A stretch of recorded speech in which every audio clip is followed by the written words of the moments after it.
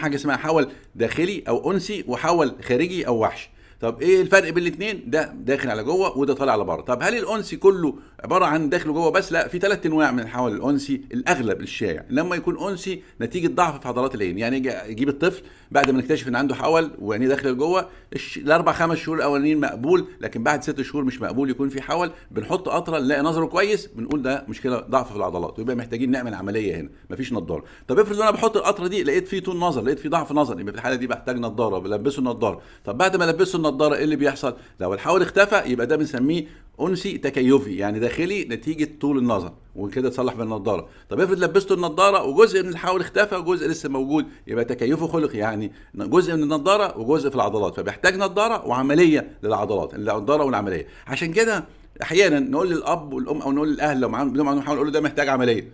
أقول له لا ده محتاج نضاره وما ينفعش أعمل عملية لأن الحول بيتصلح بالنضاره ده محتاج نضاره وعملية. دول الثلاث خيارات اللي إحنا بنبقى جواهم وهم على فكرة مش خيارات. هم دول الثلاث احتمالات خلينا نقول ثلاث احتمالات لأن أنا مش بختار بين الثلاثه دول دول الثلاث احتمالات اللي ممكن نلاقيهم لما بنكشف على الطفل.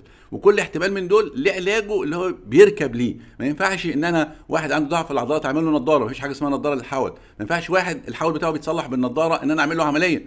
ما ينفعش واحد لسه في عنده حول ولابس النضارة أنا أسيبه وأرميه لازم أعمل عملية عشان أصلح الحول يعني لازم الحول يختفي. فإحنا عندنا ثلاث احتمالات في الطفل اللي عنده حول انسي أو اللي داخلة لجوه. يا إما ضعف في العضلات محتاج عملية يا إما ضعف في النظر ومحتاج نضارة يا إما ضعف في النظر والعضلات. وفي الحالة دي محتاج نضارة بنكرر الكلام ده بتسمعوا الناس مني في العيادة كتير ويا ريت نكون مستوعبينه عشان لما لما نروح نكشف عند الدكتور ويقول لنا الكلام ده يكون موجود في بالنا. طب الحول الوحشي الحول الخارجي اللي طالع لبره الحول الوحشي معظمه معظمه بيبقى خلقي مولود بالطفل مفيش. نادر جدا لما الاقي نضاره بتصلح الحول الوحشي بيبقى مشكلة في العضلات وعاده بيبتدي متقطع يعني شوية يظهر وشوية يختفي شوية يظهر بيبقى الأهل شاكين في الموضوع ده هون. بيبقى في بعض العلامات لما بيقرب من حاجة لما بيغمز عينيه في الشمس بالذات يغمز عينيه يطلع في الشمس يغمز عين من الأنتين. دي من العلامات الكتيرة جدا في الحول الوحشي.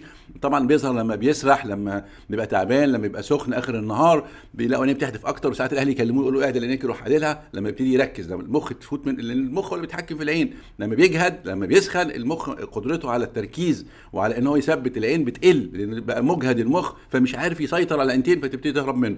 لما بتهرب يحصل إيه؟ يحصل بع- يحصل ازدواجية في الرؤية. لما يحصل ازدواجية في المخ المخ يتضايق يقوم يعدل العين. هو ده اللي بيحصل. العين تحدف في ازدواجية في الرؤية ده بيضايق المخ يروح المخ عادلة. لغاية ما بيجي وقت من الأوقات للأسف الشديد بتبقى قوة العضلة اللي بتشد لبره عنيفة جدا تقوم تاخد العين والمخ مش قادر يسيطر عليها ويبقى الحول بدل ما هو كان متقطع وبيظهر من وقت لوقت بقى موجود على طول. وطبعا في الأغلب محتاجين نعمل عملية. تعالوا نشوف ال- ال- الفيديوهات بتاعتنا. شايفين الطفلة دي عينيها داخلة لجوه مولودة بالحول ده هون. فده بنسميه حول داخلي خلقي. داخلي خلقي نتيجة ضعف في العضلات. في مشكلة عندنا في العضلات هنا. يبقى في عندنا مشكلة في العضلات.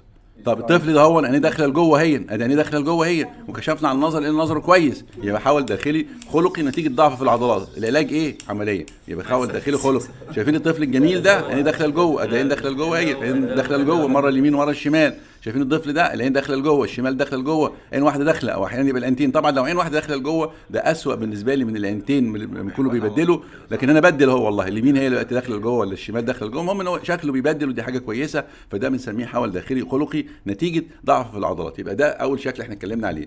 نيجي للشكل الثاني شوف الطفل ده عنده حول شايف عينيه داخلة لجوه إزاي؟ لما بحط النضارة شايف العين طلعت لبره. أدي العين أهي العين أهي. لما نرفع النضارة العين تدخل لجوه. لما بحط النضارة العين بتتعدل. ده اسمه حول داخلي تكيفي نتيجة طول النظر نتيجة طول النظر اللي عند الطفل فالطفل ده عنده طول نظر والحول. برضه نفس الحكاية. شوف البنت الجميلة دي أهي انها بتدخل لجوه انها تدخل لجوه؟ شايف دخلت لجوه إزاي؟ يلا. طيب بص على الصورة بتاعتي إيه ده؟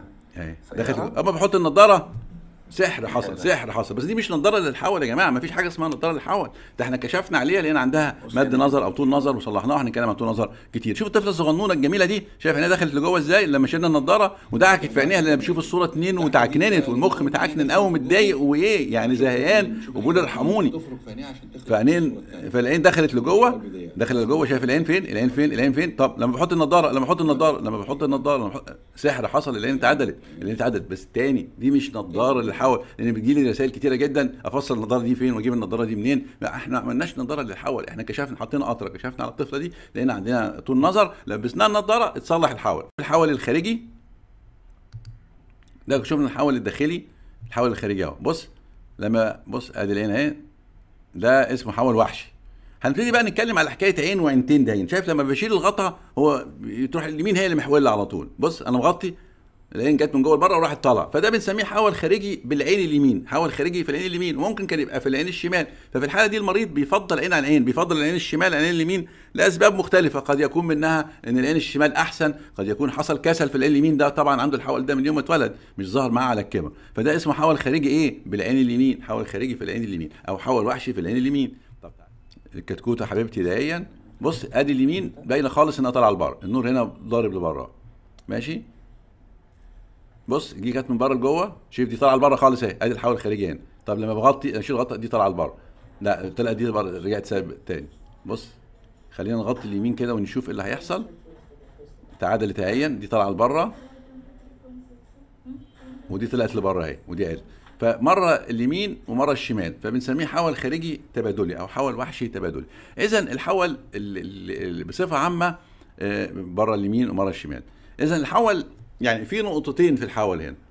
في حول وحشي وفي حول انسي يعني حول خارجي وحول داخلي وفي حول في عين واحدة سواء كانت اليمين الشمال وفي حول متبادل مرة اليمين ومرة الشمال طب الحول الوحشي والحول الانسي اتفقنا واحد داخل واحد طالع وأكيد دول العلاج بتاعهم مختلف تماما وأنا ما بخش ببقى عايز أدخل اللي طالعة وعايز أطلع اللي داخلة عكس بعض. لكن هل المتبادل ده أو اللي في عين واحدة بيفرق في العلاج؟ لا ما بيفرقش في العلاج. مش معنى الحول في العين اليمين إن أنا لازم أعمل عملية في العين اليمين. لأن العينتين العلاقة بينهم من بعض بايظة زي ما اتفقنا إن هم زي الميزان. فأنا في الحالة دي عايز أصلح الحول بشتغل في الاثنين وهنتكلم على تفاصيل الحول بس لو نوعية الحول بتفرق معانا في العلاج وبتفرق معانا في التشخيص اللي هو الانسي أو الخارجي بس الحول في عين واحدة أو في العينتين اللي هو تبادلي مرة في اليمين مش في العينتين يعني الاثنين مش محولين لا ده مرة اليمين بتحول ودي عدلة مرة الشمال بتحول. فده بنسميه تبادلي. فلو حول مرة في اليمين ومرة في الشمال أو تبادلي الاثنين زي بعض. هو اللي بيفرق مع الطفل نفسه أو مع المريض نفسه إن لما بيكون الحول في عين واحدة ساعات كتير أهلي بيبقوا فرحانين والله المشكلة في عين واحدة فاحنا اتفقنا ما فيش عين فيها حول إحنا العلاقة بالاثنين بايظة بس الحول لما يكون في عين واحدة المخ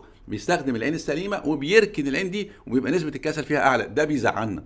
إحنا بنبقى مبسوطين جدا بالحول التبادلي اللي هو مرة يمين مره شمال المخ ينشط دي وينشط دي تبقى الخلايا اللي, فيه اللي عنده المسؤول عن الرؤيه حجم بعض. لكن لو دايما عين واحدة العدلة والثانيه محوله نسبة الكسل ونسبة المشاكل بتبقى أعلى لأن الخلايا اللي في المخ المسؤوله عن الرؤيه في العين دي بتكون أقل. فالحول التبادلي بالنسبة للمريض نتائجه أو ضرره عليه أهون من الحول اللي في عين واحدة بالنسبة للمريض لأن الحول اللي في عين واحدة بيبقى مصحوب بكسل في الأغلب الحول التبادلي ما بيكونش